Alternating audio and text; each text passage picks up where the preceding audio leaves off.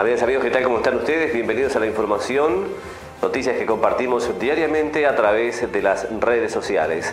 Una muy buena noticia para cooperativistas de nuestra ciudad, concretamente Covisue firmó ayer a la tarde en la ANB su préstamo para la construcción de su núcleo de viviendas. Hace nueve años que la cooperativa está en formación y ahora llegó la muy buena noticia. Hola, buenas noches. Después de nueve años, la cooperativa Covisue cumplió su sueño de poder firmar el préstamo hoy en la Agencia Nacional de Vivienda. Y bueno, nos quedan dos años de intenso trabajo donde tenemos que terminar con la construcción de ellas para 34 cooperativistas. Bueno, muchas gracias a todo el grupo que nos estamos poniendo las pilas y estamos siendo un, un grupo muy compañero para que esto pueda salir. Bueno, es muy importante para nosotros porque es la forma de tener nuestras casas propias. Y bueno, son casas de dos pisos, en blog, con dos, tres y cuatro dormitorios. Y están ubicadas en continuación Sosa Bernadette 403. Bueno, de parte de la cooperativa queremos agradecerle a todo el pueblo de Sarandí que nos colabora con los beneficios, tanto de rifa, como el campeonato barrial, como la hecha de ñoquis, y este, a todo el, el municipio que cuando los necesitamos nos están dando una mano. Y no queremos olvidar de agradecerle mucho al escribano Abella, que cuando necesitamos cualquier tipo de trámite, él está ahí, sin cobrarnos nada. Y bueno, a todo el pueblo, muchas gracias. En Sarandí del Sí, Ropiel, farmacia, perfumería, regalos y recarga de celulares Antel con un 25% de bonificación. Farmacia Ropiel, la mayor experiencia a su servicio. Teléfono 4367-9780. Les comentamos ahora otra muy buena noticia que sucedió aquí en nuestro departamento. Médicos de Uruguay y Argentina procedieron a la operación de implante ocular en la Fundación San Pedro de Durazno. Hay alta incidencia de leucoma aquí en nuestro departamento y se trata de solucionar mediante estas operaciones. Javier Viola es mi nombre, la empresa es Glaucos. Glaucos es eh, una compañía americana que desarrolló la tecnología de los dispositivos de glaucoma mínimamente invasivos. El primer producto apareciendo en esta categoría para tratar el glaucoma es el Aisten, que es el primer producto que se aprobó hacia fines del año pasado acá en, en Uruguay y se está haciendo los primeros implantes ahora en el país.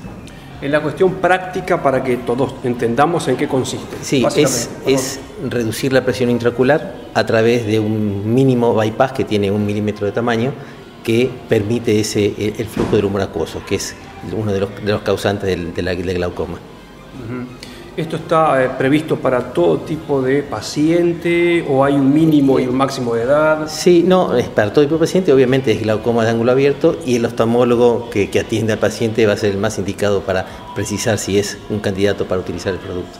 ¿Qué tipo de intervención quirúrgica, o quizá le puede decir la doctora, se realiza? ¿Es invasiva?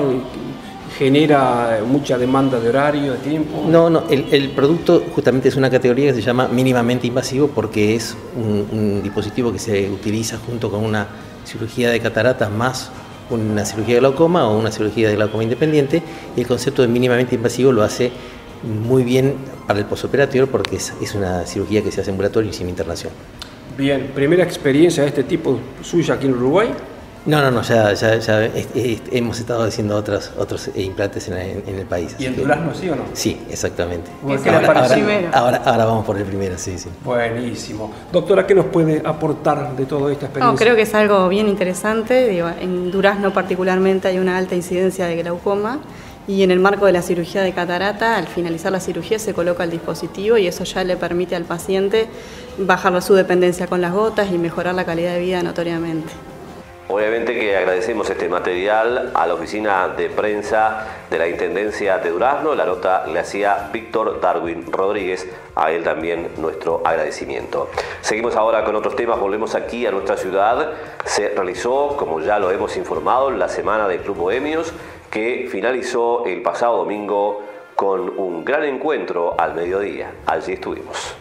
Eh, mirá, la semana del club ha sido muy buena. O sea, por suerte se arrimado jóvenes, que era lo que más me preocupaba a mí, no porque la, tercera edad o la, gente madura no pudiera, sino que yo creo que, la renovación de, la gente hace que, que el club vaya para adelante. Creo que era un poco el debe de nosotros y bueno, ahora hay, yo que sé, empezó a haber más actividad, hay un grupo de tango de jóvenes, hay un grupo de folclore de jóvenes que, se está, utilizando las instalaciones del club, el voceo que vienen jóvenes, el fútbol que está funcionando bien y, las bochas, que hay un, grupo de, personas de la segunda y tercera edad, porque si no se me juntan, este, y están, de verdad que, sí, que están este, trabajando mucho y, con un apoyo grande hacia el club.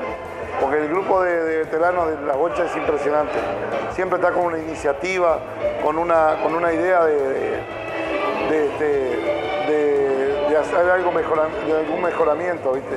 De ellos fue la iniciativa de pintar las sillas que están en el exterior del club. O sea, siempre es con, con pulso hacia adelante y eso me encantó, de verdad que sí. ¿qué es lo que se planifica para, para este de Nuestra base, a pesar de la discrepancia que pueda tener yo puntualmente, nuestra base es el raíz, o sea, lo que nos da la economía a este club es el raíz. la cantina está trabajando bien, el club está abierto, eh, tiene muchas horas de, estar abierto, hay actividad, porque eso no se ve, pero muchas veces no es economía, porque, pero sí este, hay muchos cumpleaños, al arreglar los salones hizo que la gente fuera volviendo. Y bueno, la actividad que tenemos nosotros, no quiero prometer. Tengo una, tengo una conversación con un patín artístico que va a venir a dar clases. No puedo decir que va a venir. Yo sí sé una, que es muy probable, pero entonces tenemos que buscar cosas para, para, el mejoramiento de en la parte social, que es lo que más me preocupa. Y en la parte económica, a nosotros el raíz nos da la economía para ir mejorando inicialmente a, este, a la institución.